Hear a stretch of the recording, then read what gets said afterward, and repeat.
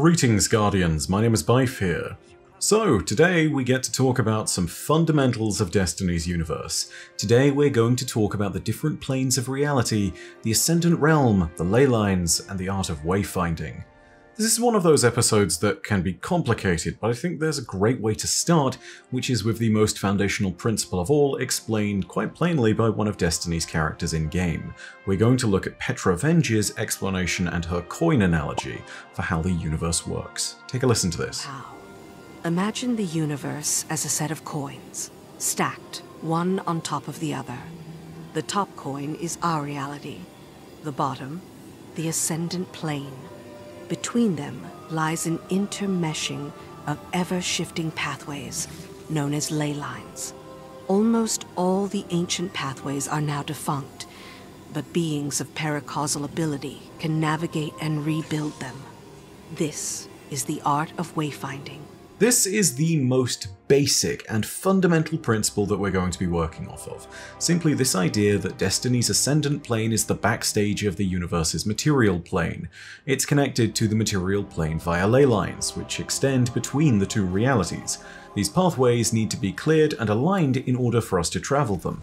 That's the basics at least. The rest is going to get much more complicated. Now, a lot of the lore here is lore that comes from dialogue throughout the season so far. It's possible that this video misses some stuff that's just not been mentioned yet, but we're going to talk about what we've learned so far, which I think is more than sufficient to understand the topics involved. I'm however not going to be showing a great deal of the dialogue that we might normally do because there's just so much of it and frankly if I was going to source every single thing in this video we would be doing something akin to the hour long video that we just did on Destiny's basics and well my editor needs a break. So yeah we're not going to go ahead and do that this is going to be a much simpler edit. So Mostly, I'm again just going to relay to you what each of the lines of dialogue says, we're not going to insert any of the references there, and we're just going to make this nice and simple, and hopefully the sound of my voice will guide you through this topic. So, in my Throne World video, I talked a lot more about the makeup of the Ascendant Plane, and we're going to be retreading some of that ground here as a result. But from what we've learned this season and in the many lore entries of the past seasons and releases, the Ascendant Plane is what I'm going to call psychomutable, Okay, complicated word, but let's break that down. The psycho part does not refer to psycho as in Alfred Hitchcock's film, it does not refer to someone's state of mind, it refers to the Greek word psyche as in mind, spirit, or soul. And the mutable part means simply that something is changeable. In technical terms, for the state of the ascendant plane, there is something about it which one's mind, soul, or spirit can change, hence the fact that it is psychomutable. This is the principle by which Hive Gods, Guardians, and Mara Sov and Riven of a Thousand Voices are able to create things and be empowered in this plane. This is the biggest thing to understand about the Ascendant Plane. It's changed by the very thoughts and desires of those who enter it. Mara states that it is a place where cognition or thought meets causality, or the process by which things occur. Crow states that whenever he enters the Ascendant Plane, he feels uneasy, and Petra responds that that might partly be because him being in the plane and having these feelings makes the plane reflect those feelings back onto him. Mentally speaking, the plane is manifesting some of that unease. This is one of the key factors of the Ascendant Plane that makes it different from the Material Plane, as it affords beings of darkness and light, or paracausal power generally, a far greater degree of control. This is how the Awoken, particularly the Techeuns and Mara, have been able to learn the art of wayfinding, as within their race, it's Mara and the Techeuns that are specifically gifted with strong paracausal powers. So, that's mostly what we know about the Ascendant Plane, with the key exception of Throne Worlds, but again, we have a 30 minute video on that that we did recently, so go and take a look at that. But there are some questions of how one navigates this space. Now, you could do as Mara did and just navigate in the dark, but the lore around that in the Reverie Dawn armor from Forsaken notes it as one of the greatest challenges that Mara ever faced, clawing away at her personality. Even as a Guardian, we would probably be in tremendous peril if we attempted to replicate such a feat. For all but those most powerful beings, this would be impossible, and therefore, for us to navigate the Ascendant Plane, there has to be infrastructure to support the traversal of the plane. There needs to be a bridge across the psychomutable sea, so to speak. These bridges are the ley lines. Now, I think a key thing to remember about the ley lines is that they are sort of artificial and they're sort of not. The ley lines exist within the Ascendant realm, but they need to be stabilized by those who enter it. They're a bit like rivers in the sense that they can be polluted or changed by the essences of those that control them, but they're equally like bridges in the sense that they're directly controlled and traveled along once they're established. Ley lines are infrastructure born of the nature of the Ascendant realm, and I'm not sure if this analogy is helpful or accurate given the nature of Ascendant space, but imagine them as a road following the contour of a mountain. The pathways are always there, but they need to be built up and given solid ground to be efficiently travelled. Because of the fact that they are infrastructure, they also do not hold allegiance to one in control of them, meaning that they can be stabilized, and leyline branches can represent tactical spaces that can be fought over or held. The thing that differs with the Ascendant space, and as we can see with Xivu or Arath crashing together various pieces of Ascendant space in the Shattered Realm, is that they can be moved if not stabilized, and generally speaking this makes the makeup of the plane a lot more wibbly wobbly, and a lot more sort of undefined and changeable. So yeah, it's a little bit chaotic to say the very least. Not surprising when you take a look at Ascendant space that's controlled by dark figures and you realize that it's just a swirling mass of darkness and chaos and lightning far off and infinite abyss as far as we can see. Not fun, not good, not good at all. The ley lines being tactical points worth holding too is a theme that's going to come up because ley lines can be used as a way of bypassing the constraints of travel within the physical universe.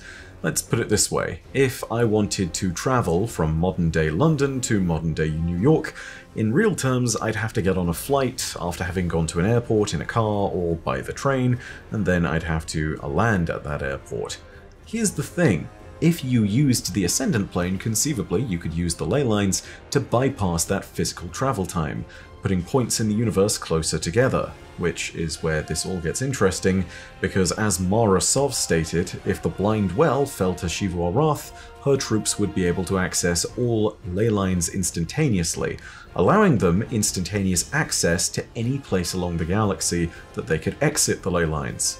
Such a feat of logistics explains Xivu's obsession with controlling the Ascendant space around the Dreaming City and the ley lines within.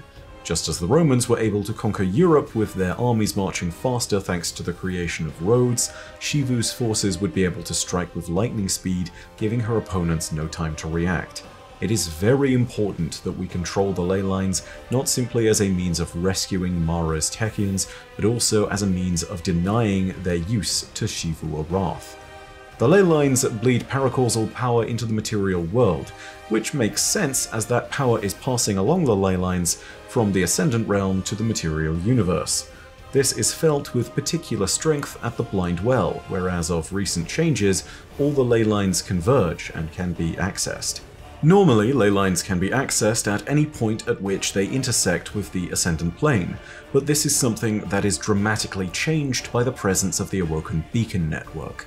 The beacons are a little hard to explain, but they're a little bit like specific junctions or checkpoints that allow a further degree of stability and control and connect different ley lines to each other. And by doing this, the Awoken of the past forged the ley lines into pathways that they could more easily traverse. The important part is that these newly stabilized and connected ley lines cannot be changed so easily, which makes the Ascendant Plane far more navigable for any who do not contain the paracausal power of someone as supremely powerful as Mara Sov. According to Petra, at the end of one of the instances of the Shattered Realm, the beacons are also capable of creating a barrier against Xivu Arath's forces, further solidifying the Awoken's control of the leyline pathways. When connected into the network of other beacons, local beacons allow the Awoken a degree of detection and control within the Ascendant realm, allowing them to uncover enemy forces that might be hiding in the vicinity, and anyone who might be hiding that is also an ally, such as a lost Techeun. Now, the beacons aren't exactly a free pass to create pathways without consequences, even within their protections. Xivu Arath and the Forces of Darkness can still make attempts to wrest control of the ley lines from the Awoken, and one of the key ways in which they are trying to do this in the Season of the Lost is the attacks that they have committed to making on the Blind Well through the Astral Alignment activity. The Blind Well is, for those of you who don't know, an Awoken device that carries a paracausal charge of energies. These energies were used initially to gain access to the Ascendant Realm, but specifically a singular part of the Ascendant Realm, Mara Sov's throne world, known as Eleusinia. Since then, it appears that the Blind Well has been opened up to all ley lines, and the paracausal energies within can be used to access any of them at any time. Losing access to the Blind Well or sealing it off from the ley lines would effectively mean that the Awoken would not only lose access to those pathways and the Techeuns hidden at the end of them, but it would also cut them off from Mara Sov's throne world, and by extension, any chance of lifting the curse on the Dreaming City. However, ley lines are like roads or bridges or rivers within the Ascendant Plane, and just because a road exists doesn't necessarily mean that there's a signpost telling you where it goes, or that it's the right direction. Desire and willpower are the ultimate arbiters of fate in the Ascendant Plane, and the Awoken of the Distributary, the original Awoken homeworld, apparently knew this. They used these principles and these understandings in order to create the Wayfinder's compasses, artifacts gifted to those that left with Mara to form the Awoken Kingdom of the Reef back in Sol. They effectively point to one's desires or goals, and within the Ascendant Plane, if one's willpower is strong enough, they can remove obstacles in one's way. This is expressed in-game by the different powers in the Shattered Realm, such as Barrier Breach, Safe Passage, and True Sight, which you need a stronger compass that has been consistently upgraded with Parallax Trajectory in order to unlock. Sometimes, the powers of the compass remove restrictions, other times they can create new passageways to one's objective. All the bearer needs to have is the required paracausal will to use the device. It is for this reason that the compasses must be guarded against the forces of Xivu Arath, as in her hands her success would be all but guaranteed, thanks to Xivu's equally powerful paracausal abilities. At the start of the astral alignment activity, we place the Wayfinder's compass into the blind well, and using the well's massive paracausal energies, we are sent on our way to our desires, which commonly leads us to beacons that must be aligned in order for us to reach the lost Techeuns, or to points along the ley lines which must be defended. This is not something which is well explained, it's not even properly understood truly by the Awoken. They simply state that the compass has a form of intuition, pointing the bearer to where they need to go in order to accomplish their objectives, but not exactly explaining why they need to be there, only that they need to progress in order for their objectives to become realized. Quite notably, Ager's Scepter, the new exotic weapon from the Season of the Lost that comes at the end of the Hollow Coronation exotic quest, is also something that is based off of a similar concept. The so-called Obsidian Feather of Riga at the weapon's heart is probably a way of saying that some of Mara's dark power resides within the weapon, and that that pool of dark paracausal energies, represented by the glowing core of stasis at the weapon's center, can also be used to shape the Ascendant Plane to fit one's desires, and to carve pathways to one's goals. In-game, this translates as Ager's Scepter's ability of being able to remove certain pathways within the Shattered Realm activity when we fire the beam at them.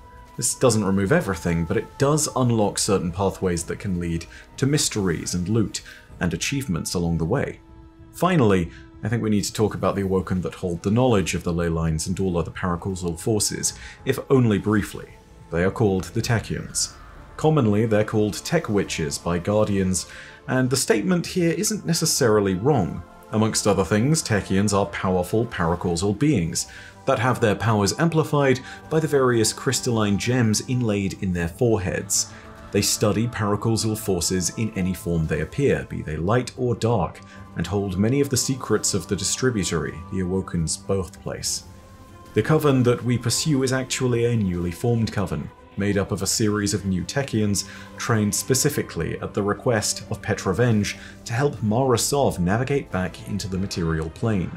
But this is a story that requires a greater degree of detail in time, and so I'll endeavour to tell that full story of where Mara went and how the Techeuns rescued her at another time very soon. That is actually a very important video because it explains the crux of why the Techeuns are lost, what Mara was doing before she returned to us in the Season of the Lost and returned to the Awoken, and ultimately, what the goal of the season is in terms of the greater picture of Destiny, because it tells us about what Mara has been doing while she was gone. All of that and more is still to come, but for today, that's all from me for now. Thank you very much for watching, and if you enjoyed the video, go ahead and leave a like, and if you have your own thoughts, go ahead and leave them down below in the comments section. Of course, if you want more content like this, go ahead and hit subscribe and the bell next to subscribe to turn on those email notifications. But as per usual, know that your viewership is quite enough for me, and that in the meantime, my name has been, my name is Byf. Per audacia ad astra. I'll see you, Starside.